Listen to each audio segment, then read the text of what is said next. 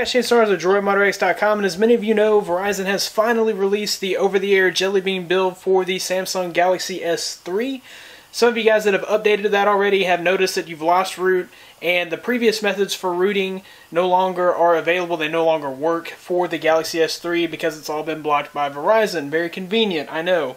Uh, but there is another method. So this guide will be how to root official over-the-air Jelly Bean on the Verizon Galaxy S3.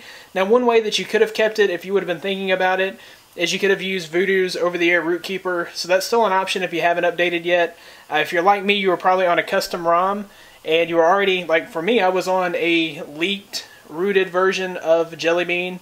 It wasn't official, so there was a little bit, you know, there were some things there that just weren't meshing correctly. Uh, but anyways, the way that I got to this build was I flashed the stock image. So I flashed all the way back to stock. And then I accepted the over-the-air upgrade.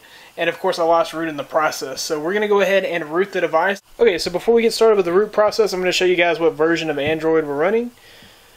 We are on the official over-the-air update Jelly Bean 4.1.1. And let's see, the build number is JR 03L uh, and then VRBLK3.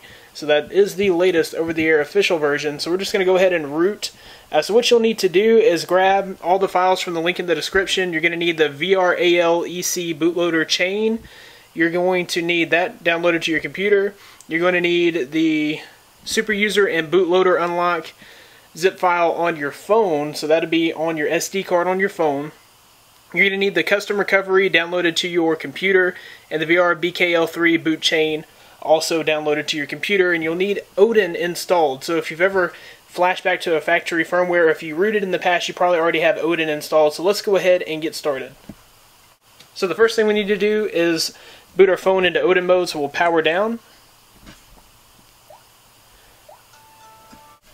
So you into the bootloader mode, we're going to hold volume down, home, and power all at the same time. And when we see the screen, we're going to hit volume up and then connect that to your PC. Okay, so I have all my root files stored into this Note 2 root folder that just makes it easy for me. Uh, so we'll open up that folder and we'll open up Odin. And we want to uh, make sure that our phone is connected by checking the COM box here. Just make sure that it sees your phone, then you'll check PDA and open up your PDA file. Uh, we're going to head into that Note 2 root folder. Actually, we're working on the Galaxy S3, but I dropped them into this folder just so it'd be easy to, for me to find them. First thing you want to flash is the VRALEC boot chain. So we'll go ahead and open that. Give that a few seconds to load, and then we'll click Start.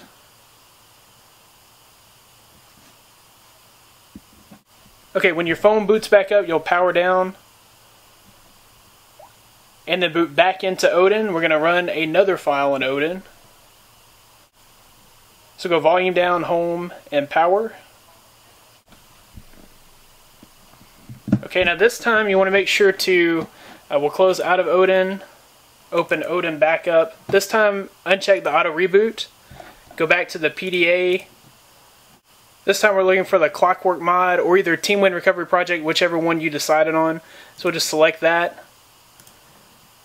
And as soon as it loads here, we'll click Start. This is going to flash the recovery, so we'll start it.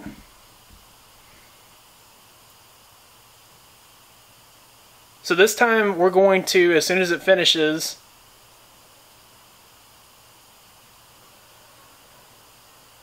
So when it says reset in Odin, we'll go ahead and pull our battery and we're going to boot into recovery.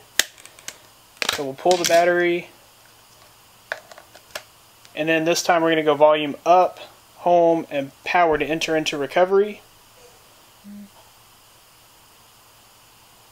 Okay, so in Clockwork Mod Recovery, we're just going to go to Install, choose it from SD card, go to your download folder where you have downloaded it, and you're just going to flash the Super SU plus the bootloader this is going to unlock your device and root it, so we'll go ahead and flash that. So now we are unlocked and rooted and we have custom recovery.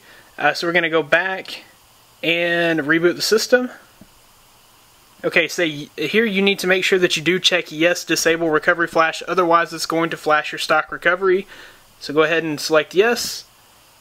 Once we're rebooted, we're going to power down the phone by pulling the battery and then connect it back to Odin. And now we just need to restore the JB boot chain. So we'll go ahead and pull the battery here. Boot back into recovery. I'm sorry, back into Odin mode, volume down, home and power.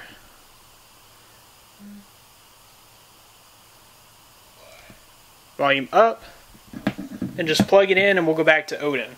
Okay, so this last step is optional, but if you want to be completely stock Jelly Bean, you need to do this. Uh, so we'll go to PDA, and this time we're flashing the VR BKL3 boot chain.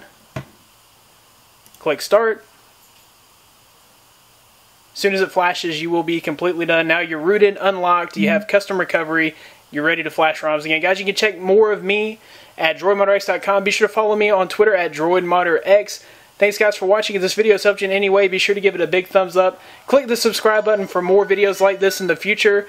Thanks guys for watching. I'll see you in the next one. You guys a very highly requested video. This will be my Galaxy Note 2 versus Droid DNA video.